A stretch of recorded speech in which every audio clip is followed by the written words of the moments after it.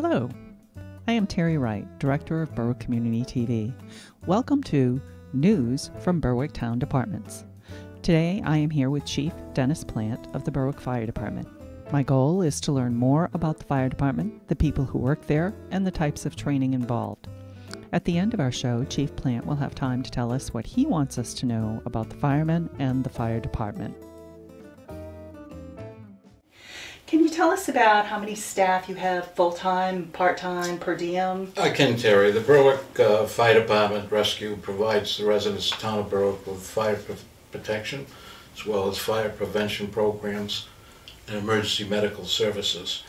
Uh, the staff consists of, right now, uh, 27 on call, five career, which means paid staff, including myself, five per diem staff that we've hired over the last six months, uh, which come in and cover shifts that are vacant.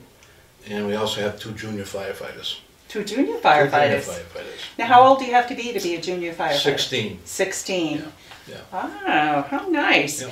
And um, how about the newest people? How many of the people that you've gotten in the last six months to a year? Uh, The newest on-call staff Yep. uh, were hired about a year ago. Okay. Uh, Brandon Viola, uh, Maddie Stella, Okay. uh, and Cabe Capot. Uh, Cabe is a uh, uh, military person stationed down to uh, Pease. Okay. and uh, th- they've all worked out real well. They all have just completed, with the exception of one, the 240-hour recoup training for firefighters. 240 40 hours. Yeah. And they cover basic knowledge and skills Mhm. of firefighting, and there's about 32 topics that they cover throughout their training program. Okay.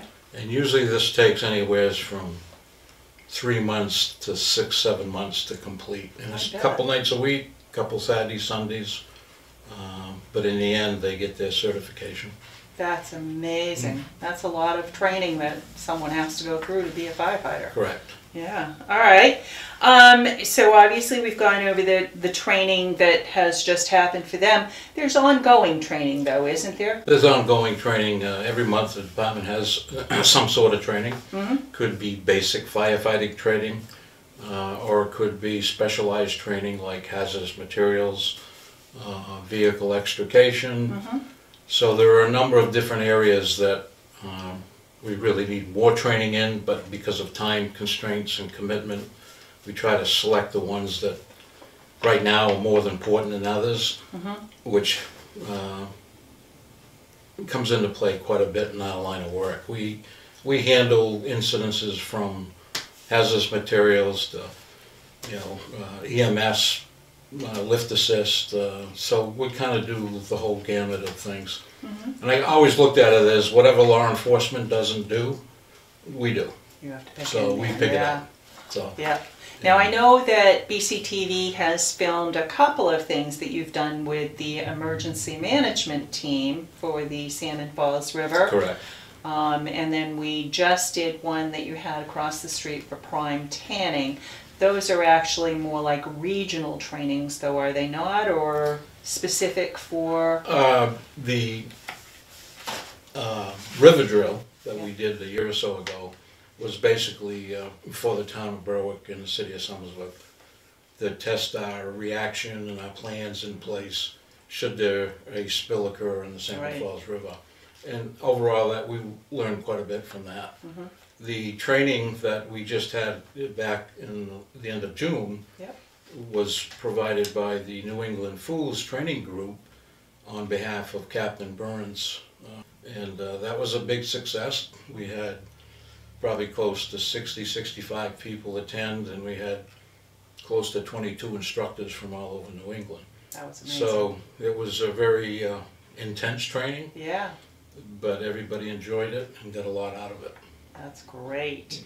Um, is there anything that you would like our viewers to know about the fire department, um, or about the training, or, um, getting involved? Um, The, the department has grown, and it's gonna continue to grow, grow, I suspect. Right, so, Uh, over the last eight years, um, we've actually added a more on-call And as I indicated, we've added some per diem staff to help with the full-time staff. Right now, the department is operating two people 24/7, 365 days a year.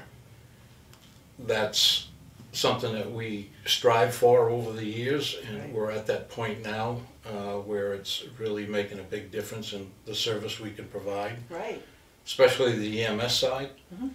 We're always looking at how can we improve the services to the town. Right. Uh, And it's a constant change for us. We've come from all volunteer to on-call where they're paid Yeah. to full-time staff. It's over the last eight years. So it's been quite a, quite a, uh, quite of a experience for us as well as for the town. Yeah. Um, You know, we encourage people to stop by the station. As you know, there's a new station will be built sometime in the near future. Yeah. Uh, People are excited about that, and, uh, you know, the town's growing, and uh, hopefully we can continue to provide the service the town expects. And that's the truth, is it, it takes a lot of people to man a Yep. fire station and to do it properly. Yep. Um, and so we completely get that. Well, thank you for joining BCTV today. We greatly appreciate your time. You're welcome, And my uh, pleasure. we look forward to hopefully some future events that we can uh, coordinate with. Very good, thank you very much.